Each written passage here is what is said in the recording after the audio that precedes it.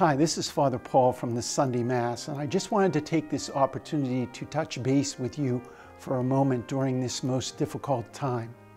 You know, because of the way we produce the Sunday Mass and because of our production schedule, we don't always seem to be current with what's going on in the world in our prayers. But I wanted to assure you that each day, each week, we are praying for our world, for our nation, for our church, for all the communities affected by this virus, for all the people affected by it.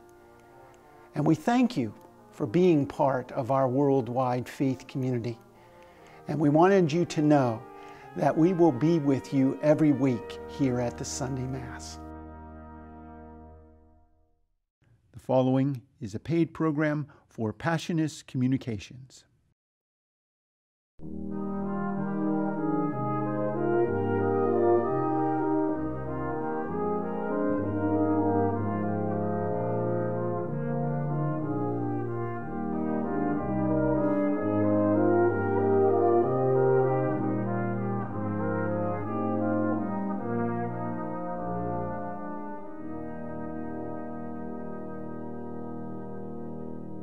Welcome, everyone, to our celebration of the Sunday Mass, a ministry of the Passionist community.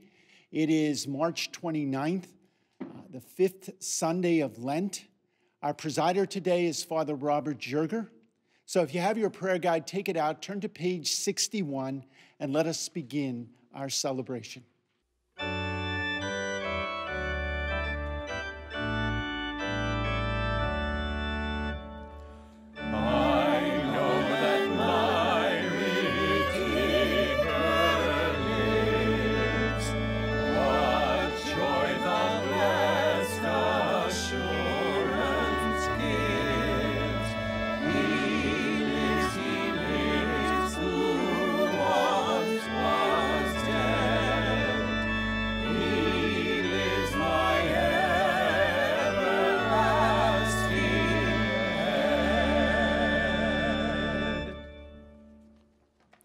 Name of the Father, and of the Son, and of the Holy Spirit. Amen. The Lord be with you. And with your spirit. And brothers and sisters, let us acknowledge our sins and so prepare ourselves to celebrate the sacred mysteries. Lord Jesus, you were sent to heal the contrite of heart. Lord, have mercy. Lord, have mercy. You came to call sinners. Christ, have mercy. Christ have mercy. You are seated at the right hand of the Father to intercede for us. Lord, have mercy.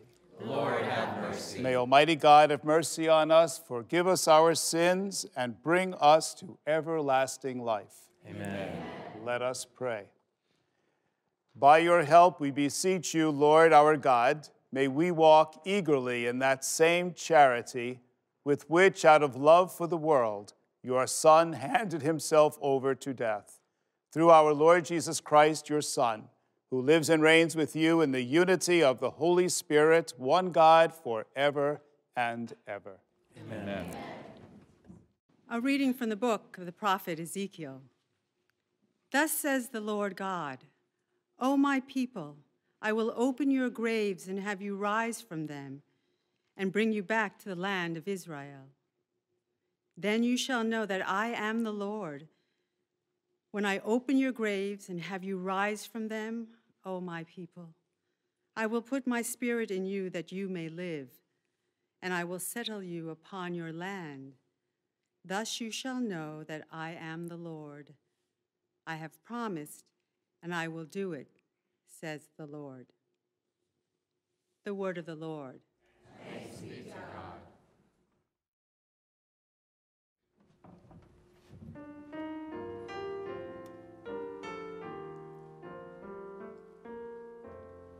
With the Lord there is mercy and fullness of redemption. With the Lord mercy and fullness of redemption. Out of the depths I cry to you, O Lord. Lord, hear my voice.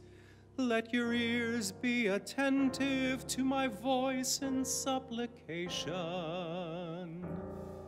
With the Lord there is mercy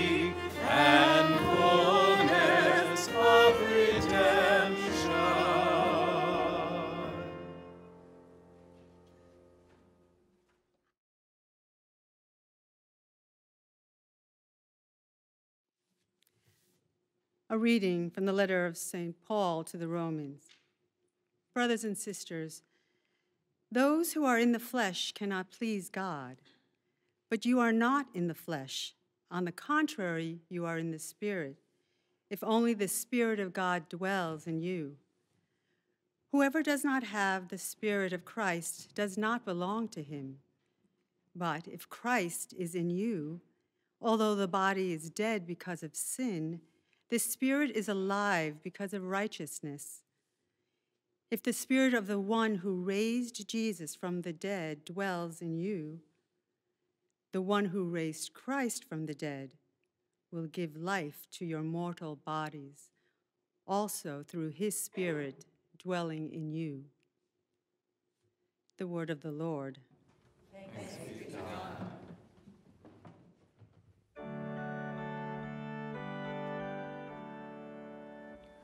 Praise to you, Lord Jesus Christ, King of endless glory. Praise to you, Lord Jesus Christ, King of endless glory. I am the resurrection and the life, says the Lord. Whoever believes in me, even if he dies, will never die. Praise to you, Lord Jesus Christ, King of endless glory. The Lord be with you. And with your spirit. A reading from the Holy Gospel according to John. Glory to you, O Lord. The sisters of Lazarus sent word to Jesus, saying, Master, the one you love is ill. When Jesus heard this, he said, This illness is not to end in death, but is for the glory of God, that the Son of God may be glorified through it. Now Jesus loved Martha and her sister and Lazarus very much. When Jesus arrived, he found that Lazarus had already been in the tomb for four days. When Martha heard that Jesus was coming, she went to meet him, but Mary sat at home. Martha said to Jesus, Lord, if you had been here, my brother would not have died. But even now, I know that whatever you ask of God, God will give you. Jesus said to her, your brother will rise. Jesus became perturbed and deeply troubled and said, Where have you laid him? They said to him, Sir, come and see. And Jesus cried. So the Jews said, See how much he loved him. And when he cried out, Jesus said in a loud voice at the tomb, Lazarus, come out. The dead man came out, tied hand and foot with burial bands, and his face was wrapped in a cloth. Jesus said to them, Untie him and let him go free. Now, many of the Jews who had come to Mary and seen what he had done began to believe in him the gospel of the Lord. Praise to you, Lord Jesus Christ.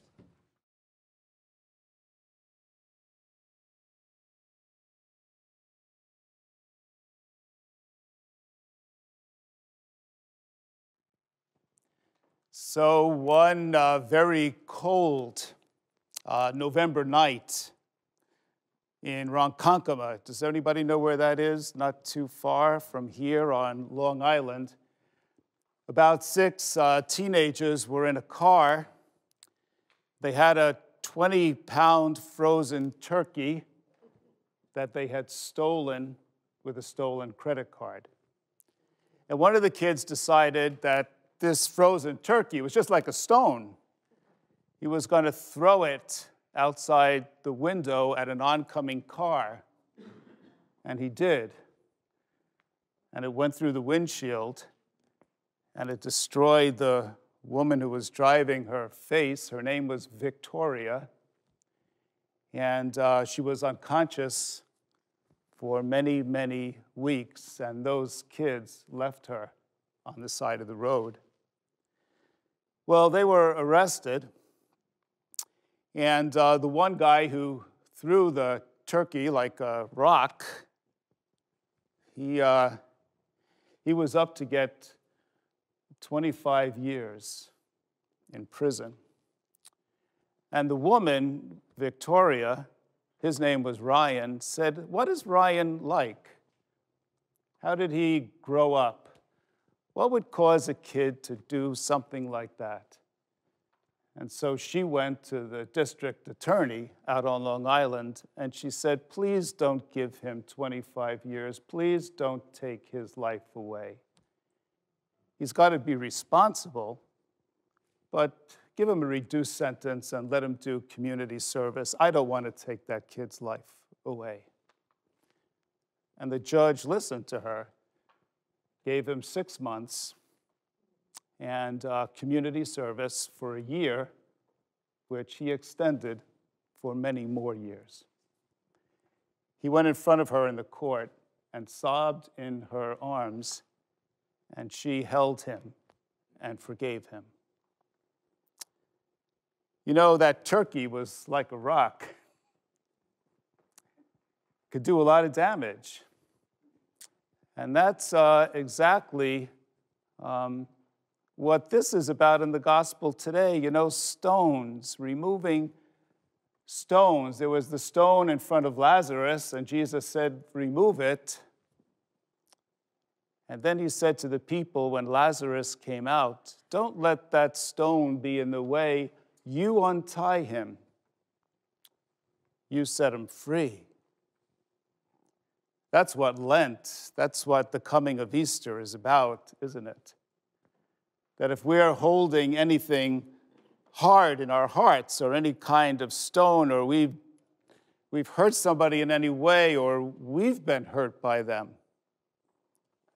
we can untie them like Victoria did with Ryan and set them free.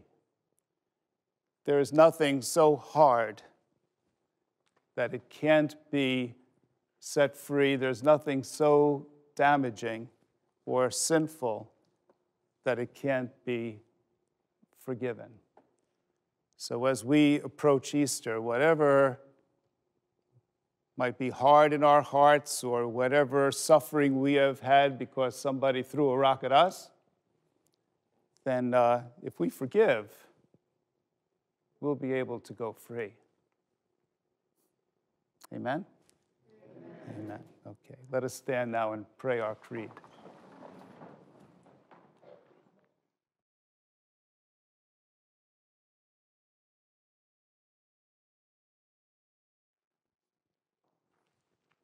I believe in one God, the Father Almighty, maker of heaven and earth, of all things visible and invisible.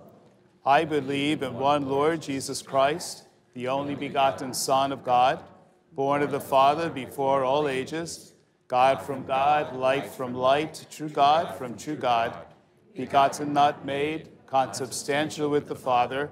Through him all things were made. For us and for our salvation, he came down from heaven and by the Holy Spirit was incarnate of the Virgin Mary and became man. For our sake he was crucified under Pontius Pilate. He suffered death and was buried and rose again on the third day in accordance with the Scriptures. He ascended into heaven and is seated at the right hand of the Father. He will come again in glory to judge the living and the dead, and his kingdom will have no end. I believe in the Holy Spirit, the Lord, the giver of life, who proceeds from the Father and the Son, who with the Father and the Son is adored and glorified, who has spoken through the prophets. I believe in one holy, Catholic, and Apostolic Church. I confess one baptism for the forgiveness of sins, and I look forward to the resurrection of the dead and the life of the world to come. Amen. The Lord has done great things for us, so with confidence we place our prayers and needs before our God. Our response is, Lord, hear our prayer.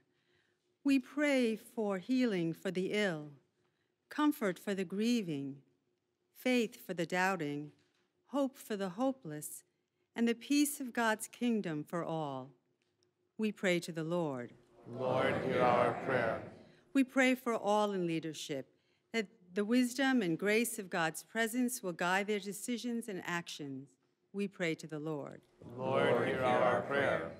We pray for the intentions of our benefactors, the intentions of our television parishioners that will be placed next to the altar, and for Mildred Goglia, for whom we pray in a special way at this Mass. We pray to the Lord. Lord, hear our prayer. Create a clean heart in us, O God, and hear the prayers we have placed before you today through Christ our Lord. Amen. When Jesus wept the falling tear, in mercy flowed beyond all bound. When Jesus groaned, a trembling fear seized all the guilty world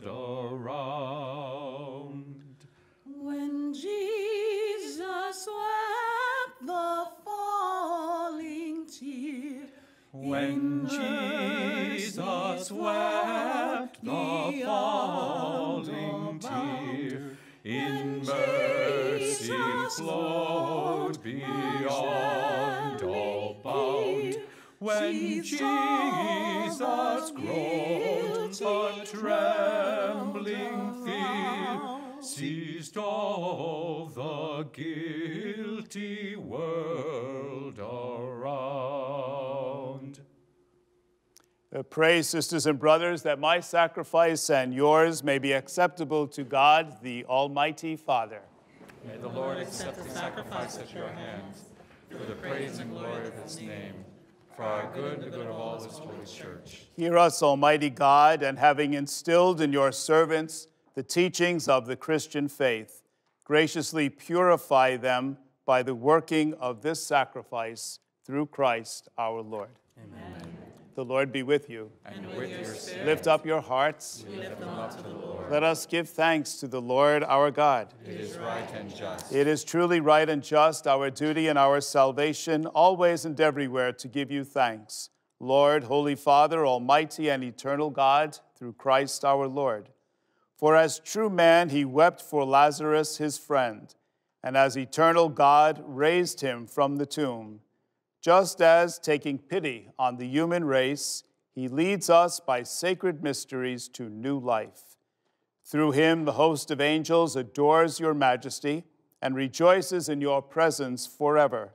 May our voices, we pray, join with theirs in one chorus of exultant praise as we acclaim. Holy,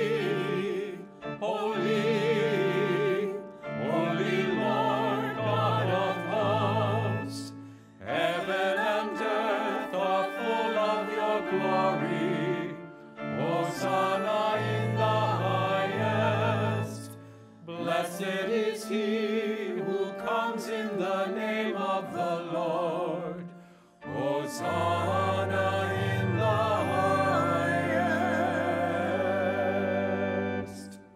You are indeed holy, O Lord, the fount of all holiness.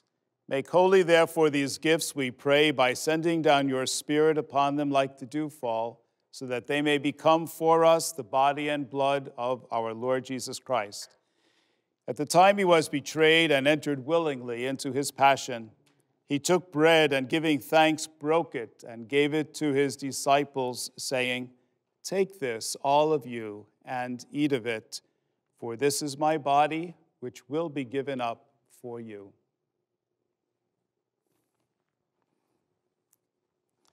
In a similar way, when supper was ended, he took the chalice, and once more giving thanks, he gave it to his disciples, saying, Take this, all of you, and drink from it, for this is the chalice of my blood, the blood of the new and eternal covenant, which will be poured out for you and for many for the forgiveness of sins. Do this in memory of me.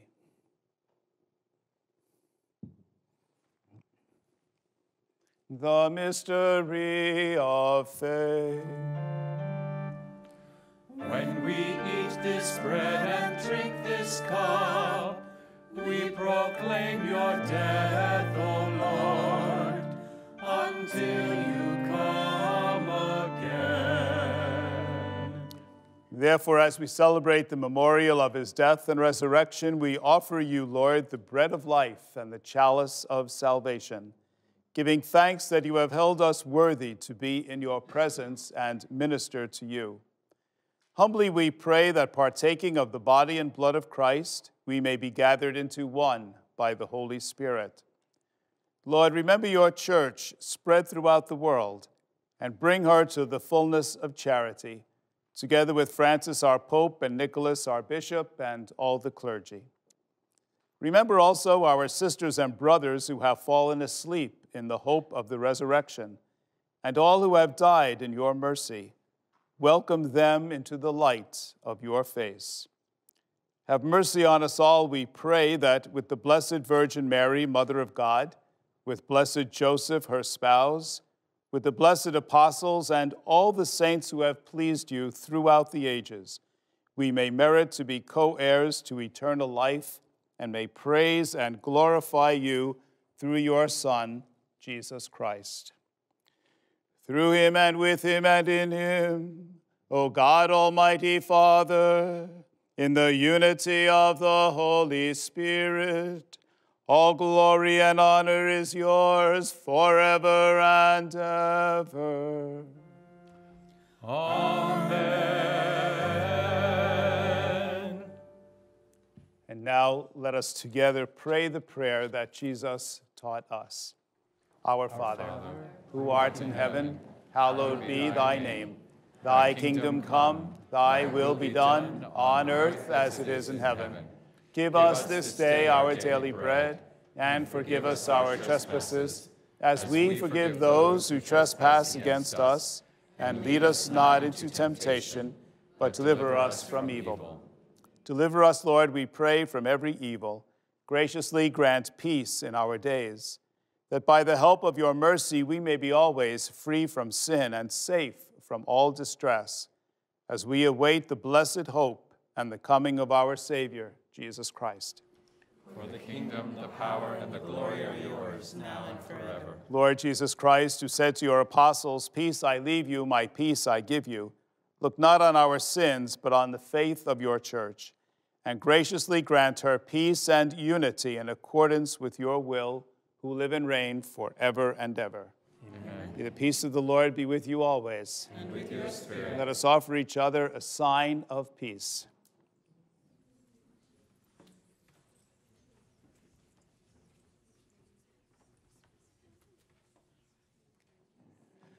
Lamb of God, You take away the sin of the world.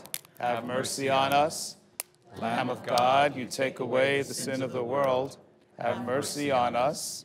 Lamb of God, you take away the sin of the world. Grant us peace.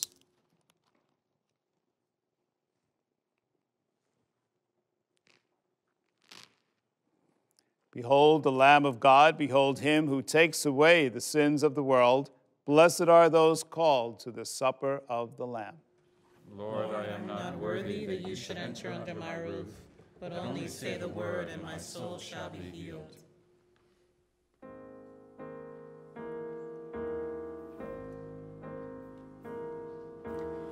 I am the bread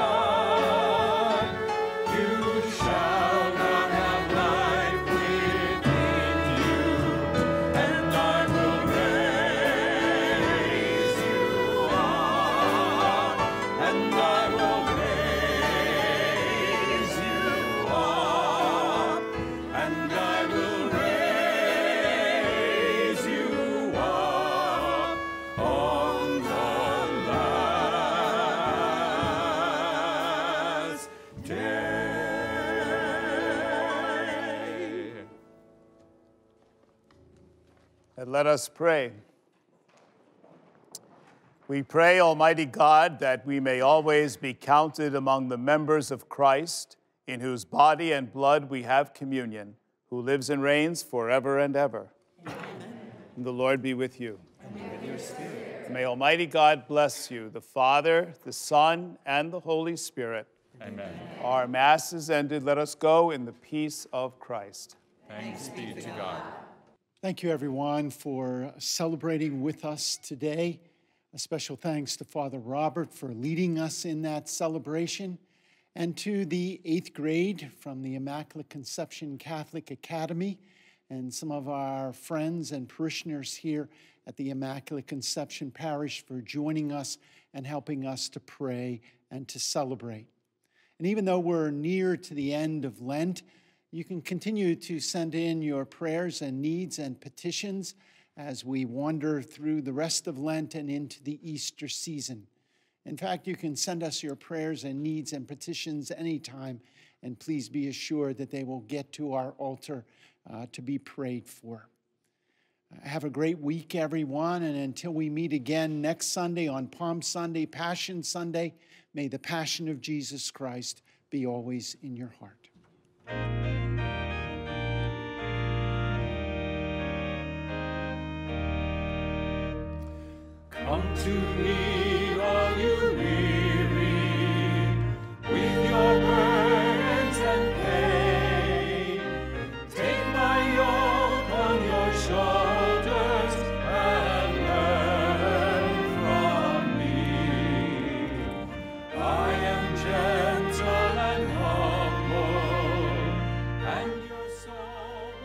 Proceeding was a paid program for Passionist Communication.